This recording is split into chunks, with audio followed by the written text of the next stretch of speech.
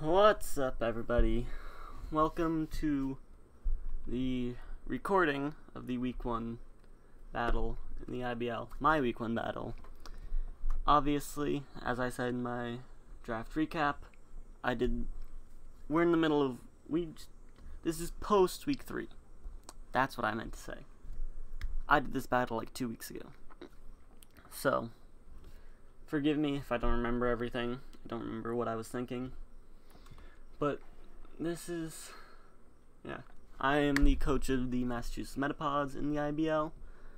I'm facing Pony, coach of the um, Criminal Ponies. And this is take two on recording this, so I'm a bit flustered because my brother's an asshole. So, let's do this. Um, Pony's OU drafts were Mega Charizard Y, Garchomp, and Skarmory all scary. He ended up bringing all three of them. I prepped for them though. I played as well as I could. Didn't play well enough. I did end up losing this match. Spoiler alert. His UU picks were the Alolan Muk, Blissey, and Moongus. I hate that Blissey. The other two I don't really care for. The Moongus I'm not even going to touch on because he has already traded it at this point post week 3. So, it's no longer on his team. He's already done all three of his free agency trades, and he's traded a Z Crystal once, so he's done with trading. But his Blissey pissed me off. Uh, if he didn't draft that thing, I would have won. Like literally, if he had any other Pokemon there from UU, I would have won that fight. But whatever. His RU draft picks are Espeon, Escavalier, and Honchkrow, the Espeon was terrifying, it didn't end up being much of a problem. As you can see, this is take two. I did this because I wanted to make sure that I had spe speed creeped it when I was recording the first time. So now you know. I speed creeped this thing with something. What did I speed creep it with? Who knows? Actually, you probably should know, because you saw the team. And you know what's faster than Espeon. Scavalier was terrifying, he didn't end up bringing it. Honchkrow I wasn't really worried for. His NU draft picks were Slowbro, Pikachu Original, and Sigilyph. Don't ask me why he drafted Pikachu, because I do not know. He also drafted the Pikachunium Z. Again, I do not know. What I do know is that we were bantering beforehand, and the Pikachunium Z actually one-shots my um, Mega Aerodactyl. It does. And so I can one-shot in return, and I outspeed. Guaranteed. But that means that if you brought this thing, it would not be a free Hone Claws. Which is what I would probably end up doing. If I hadn't count that. Um, the Slowbro, I was terrified for. Thanks to my good buddy Mason. Who is hopefully watching this video. If he's not, fuck you. But, um, he made me terrified of the Slowbro because of Trick Room. Trick Room kind of screws my team entirely, and during mock battles, he brought a Trick Room Slowbro. He won three out of five of those mock battles. He didn't even end up bringing the Slowbro, though, which was made me very happy to see. Again, I still lost, but he's also already traded both the Slowbro and the Pikachu, and the Z Crystal, so his team is actually much better off now than having a Pikachu and the Pikachunium Z. Was still scary back then, though. Obviously, I lost, so it was still doing good. Um, here, the team that I brought is opening up with Zimbabwe, the Tapu Koko, with Expert Belt, Electric Surge, obviously. Thunderbolt, Dazzling Gleam, Brave Bird, U-Turn. Um, I speed creeped the um, Espeon, as I said earlier, because I was the fastest thing on his team, so I speed creeped it. I made my attacks even because I'm a mixed attacker. I have Thunderbolt, Dazzling Gleam, Brave Bird, U-Turn. Um, this thing does like 90% to a lot of the things on his team. So Stealth Rocks were very important for me. I did end up getting them up, which is great. I don't remember if he removed them. I don't think he did. It one-shots the Skarmory, though, which was a huge weight off my back literally guaranteed one shots. Next up, we got Moonduck, the shiny Cresselia. Holding the Lum Berry, Levitate, again, obviously, it's its only ability. With Shadow Ball, Moonblast, Calm Mind, and Moonlight. This thing and my next pick, I brought literally because they can eat any one hit from anything on his team and do something in return. I didn't bring Psychic Stab because I didn't need it. Um, so, yeah. That's Cresselia. She actually gets like three kills in this game. Yeah. Cresselia puts in work. Um, next is Tutankhamun and the Cofagrigus. Fuck. Ignore that. It has Rocky Helmet, Mummy, Hex, Knockoff, Will Wisp, and Toxic. Again, this is my physical wall for the team. It eats any one hit from anything on his team. Something wants to knock it off. It's taking, it's losing its ability because of Mummy, and it's taking Rocky Helmet damage. And then I get a free Willow because it's not killing. Um, I have Willow, Toxic. Toxic was literally there just for the Chansey or the Blissey, and I didn't get it off. It two Pokemon was Toxic. Neither of them ever even came in against the Blissey, I don't think. Yeah, I did not watch the battle before recording this. Probably should have. Would have been smart. I watched like the first five turns, then I had to restart. Um, next up, we have Puzzle the Jirachi, Leftovers, Serene Grace. U-turn Wish, Toxic Protect, Bulky Jirachi, and I'm really mad that I ran it this way because offensive Jirachi would have been so much better in hindsight. This thing really didn't do a whole lot. It outsped most things on his team. It U-turned out. It could take hits. It was a wish passer. It didn't end up pass. I think it might have passed one wish. No, I tried to, and then it died, so the wish didn't go off. I don't know why. If Pokemon dies, the wish doesn't go off. That's kind of stupid in my opinion, but it's whatever. I know that now. Won't make that mistake again. Didn't know that going in, and that's why it happened. Next, we have Liability the Crocodile, who I'm actually glad this is a take two on, because originally the moveset that I had written down was outdated. I had update changed it before bat battle, between like writing down the moveset and actually battling Pony. And this team that I built here, I copied off of what I had written because my PC has been updated and my teams on Showdown did not save. So I originally had Firefang instead of Taunt. That is not was not the case. I had Firefang originally for the Escavalier and the Amoonguss, but I decided I didn't need it. Earthquake did enough, Knockoff did enough, whatever. I would also just swap on either of them, and Taunt would be more useful, and it actually did come in handy. Liability doesn't last more than five turns, but it puts in work. Spoiler alert. Can't say that word really. Um, hmm. But yeah. Life Orb Intimidate. The Garchomp was a threat, so I needed an Intimidator. I had four of them. It was more of which one I wanted to bring. Liability worked out best. Earthquake, Knockoff, Taunt, and Stealth Rocks. I don't remember in the mock battle how much the knockoff did to the Mega Charizard, but I know it did a lot. That comes up in the battle. You'll see. Um, yeah, lead Crook with Taunt Stealth Rock. Not much more to say there. Knockoff for the Espeon comes in clutch. You'll find out in the battle. Last but certainly not least, fuck, I did it again. I apologize. I am dropping things. That probably did not sound good. I'm sorry. Ladybeard, the female Mega Aerodactyl.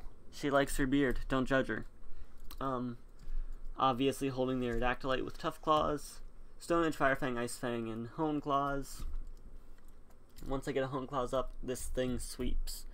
All of its moves are 100% accurate, and it one-shots almost everything. And yeah, this thing also speed crypt the Espeon. Yeah. That's it for my team. I'm going to switch over mm-hmm. now to the battle. So, I'm just going to put it on fast, because these first few turns don't really matter. He leads Espeon, I lead Liability. He thinks I'm going Stealth Rocks or I'm swapping and goes for Shadow Ball. I knock off and kill. That was huge, getting the Espeon out of there early. Then he goes to this thing. I predict that he's going to go for the rocks, which he does. And let it play a bit. He goes for the stealth rocks. I know I outspeed. I go for taunt. And that was a huge play because it forces this thing to swap. It didn't have an offensive move. Clearly. And I get my stealth rocks up. Which was... I can't remember if this Skarmory ends up removing the stealth rocks or not. But we'll find out. He goes out to this thing. I get my rocks up. Hindsight, I should have swapped. I should have. I should have swapped to the Cress or the Cofagrigus. I didn't. As I said in the team builder, the knockoff did a considerable amount of damage. I wanted to go for it. I sacked off my liability, which could have come in and walled the Skarmory some more, but I didn't think about it. So, I go out to Ladybeard, get a free Hone Claws here. Doesn't really matter. I didn't Hone Claws. Why didn't I Hone Claws? Hold on. I don't know why he even swapped there, cause... No. Yeah, no, I needed to... Yeah, if he predicted the Hone Claws and stayed in, that would have been bad. That would have been really bad pretty sure a flamethrower like one-shots this thing. Focus Blast definitely does. Yeah. I think I just go for Hone Claws here though and he actually whirlwinds me. Nope, I swap. I am all kinds of wrong today. He goes for Roost, I go to Cofagrigus. I should stop narrating every turn. I should make this go faster. This is a long ass battle. I Willow here. I should have Toxic. It's okay. He has Heal Bell. Or no, no, he doesn't. Does he? I don't think he does. Yes, he does. I know he does.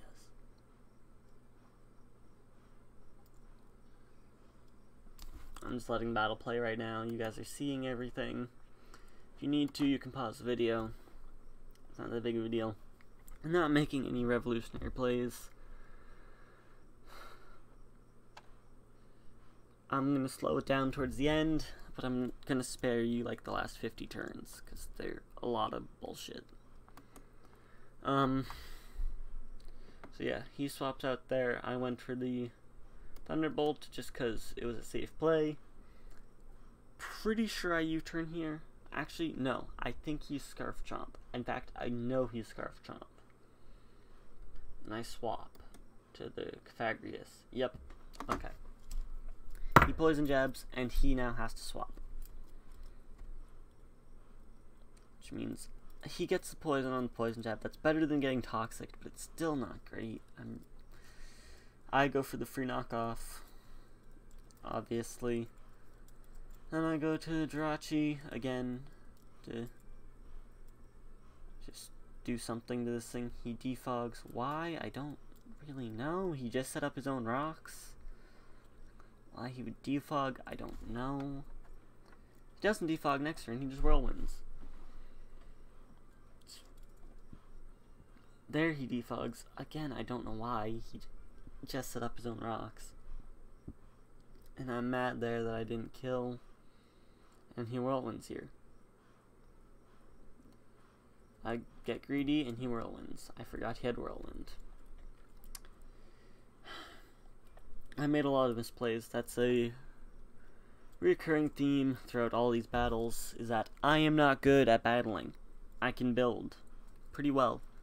I was very prepared for this team. I was ready to win, I thought, but I just didn't do enough. I couldn't perform in the actual battle when it counted. Hopefully, now that I'm recording it and I got a camera on me, that will change, but who knows? yeah. I made a lot of misplays.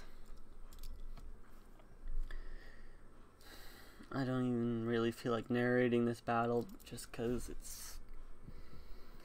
I did a lot of things wrong.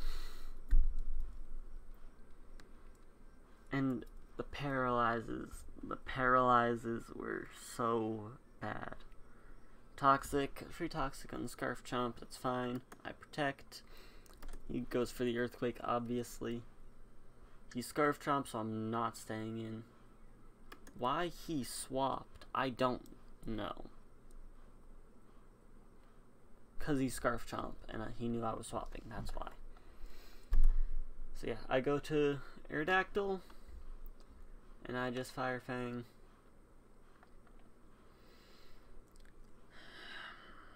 Again, I should have Hone Claws there instead of here. But hindsight is 2020. And at this point my team was all pretty weak and I pretty much lost. I didn't have my rocker anymore. I expected him to swap there, which he does. But this was the least favorable swap I could have gotten, and I get paralyzed. He pursuits. I protect to get as much health as I can back, but it doesn't matter. I go for the wish, and I try to pass it. And this is what I was talking about. I wasn't sure that... I didn't know that if the Pokemon that uses the wish dies, then the wish doesn't go off. So, Ladybeard did not catch the wish, and that kind of just ended it there. The battle was over at that point. Um, I lost my Wish Passer, my Mega Aerodactyl was basically dead. This thing pretty much dies here. I can't swap it. I don't know. Yeah, I do swap it because I U-turn. I didn't know that Pursuit worked on U-turn. Um, I think I end up taking out the Skarmory before the end of this battle. And then Moonduck takes out the Garchomp, the Charizard, and the Alolan. And then it's just the Blissey. Um, yeah. I start trying to set up Calm Minds. He T-waves me, and I have the Lum Berry. Moonlight, he T-waves me again, and this paralysis screws me over so many times. But, so do his misses. He ends up missing a lot. The hacks were pretty even. I think if we didn't get any hacks, though, I still could have won. That's just my opinion. Like, if the battle was completely hacksless, I still could have won. But that is half the point of going for the paralysis. I just wish if I gotten paralyzed half as many times as I did. What the hell is this? Um, can I ignore this? Yeah, okay. I hope that didn't show up in the recording. It was like an update thing. Sorry about that. Um, yeah. Moonduck doesn't do anything. He whirlwinds me out. And I think I just Thunderbolt here. Nope, I die. How do I get rid of this air, this thing? How do I get rid of this thing? Does Crest kill this too? yeah, I sack that off. And I get paralyzed again. It's just...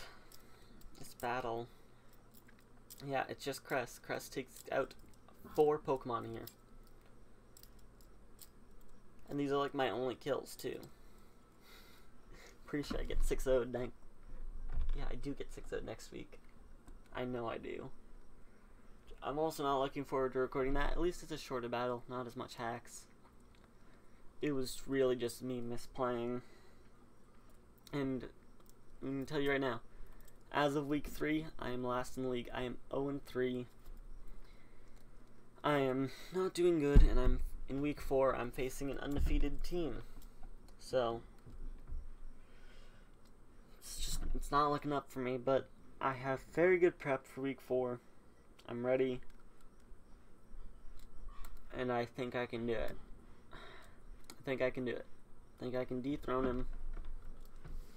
He was talking shit because he's fighting another undefeated team in week five. He was talking shit, saying, yeah, I can make it to week five undefeated. Let's go. That's not happening. I gotta stop him. Um, not really narrating over this because it's literally just Cresselia setting up, healing, and doing damage. Can't swap, so he can't pursuit, or he can, but it's not doing as much. And here he misses a lot, which does cost him. I think I missed a few.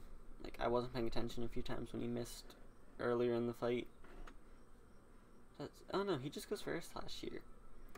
He definitely missed a lot of. He had Fire Blast and Focus Blast on this thing. I guess I wasn't paying attention. When he missed, like, five of them, easy. But, yeah. Just. And at this point, it's a PP stall. I get four kills on the Cresselia, but like pretty sure the Moon Blast kills Charizard from this range, so I just went for the Moon Blast, obviously, but now he has the fucking he caught the wish. I just as you can see, fuck this paralysis. And get paralyzed at the worst times. His Blissey didn't have toxic. That was a big mistake on his part. If either of us had run Toxic, the battle would have gone very differently. If both of us had run Toxic, it still would have gone differently because it would not have lasted nearly as long. But, yeah, this battle's over 100 turns. Um, just... Yeah, I ask why no Toxic. He tells me it's, yeah, because T-Wave, that's, um, J-Lo, the guy who ended up fighting week two coach of the Sacramento Sandshrews, yeah, he was scared of Empoleon and Jirachi setting up on the Blissey. So, basically, I'm going to pause this here. What ends up happening is we PP stall each other until I'm out of PP. I can't win this fight. Like, yeah, as you see here, the Blissey wins, guaranteed. So, I what ends up happening is once I run out of PP on Moonblast, I just forfeit. Because I knew I lost, I say GG. It was a good battle. At probably around this point, that um him, S. Sandshrews, J Law, coach of Sacramento Sacramento Sandshrews, ends up messaging me saying I need to start going for Shadow Ball and Calm Mind so he doesn't PP stall me. I didn't end up seeing it. Even if I did, I wouldn't have wanted to take that advice just because it wasn't something I came up with on my own.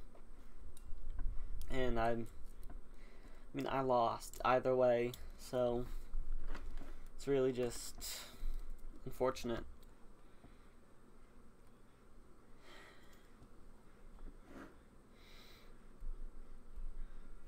Yeah, just kind of keep clicking next turn. Let's go back a few. Let's look at this. Yeah.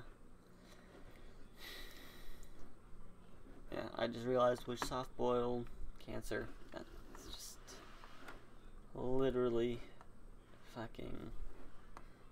If it had toxic, this thing would have literally. If it had toxic instead of T Wave, this thing would have been the worst possible Blissey.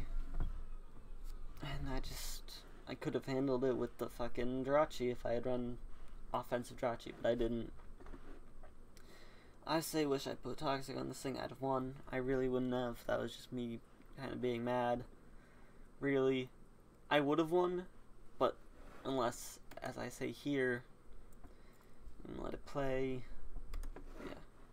No, you're right. If we both had Toxic, you'd have won, because he had the he didn't have room therapy or heal. What moves did he have on this thing? What was the fourth move? No, he did. He had. He definitely had heal bell on this thing because it was burned originally. Yeah, he had heal bell. I just want to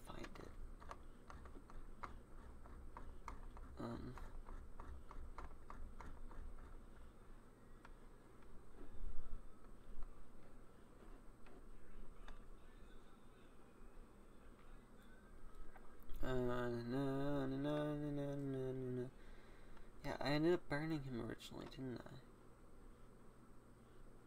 I? I know I did. I remember watching it. Um, it's more of which turn. Um.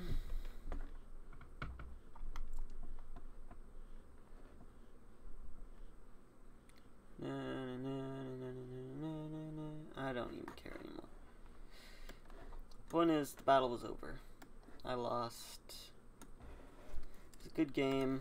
I'm just gonna skip to the end here. Yeah. Are we really gonna do this? No, I'll just forfeit. You win. GG. Good game. Someone else get replay. Um, yeah, and thank. He says thank you for your help. I actually was. Like, he had never done a draft league. He was. He also didn't speak English very well. It was not his first language. So I was helping him through the draft and everything. It was very fitting that we fought week one. Really sad that I lost, but oh well, I did. So, it's whatever. So, that's the end of week one. I will probably next be recording my week four battle. Maybe I'll do week two in between. But week four, I'll be recording live. I'm supposed to be battling him today. Don't know when. I'm gonna message him right after I'm done recording this and find out. See y'all later. Sorry for the long video.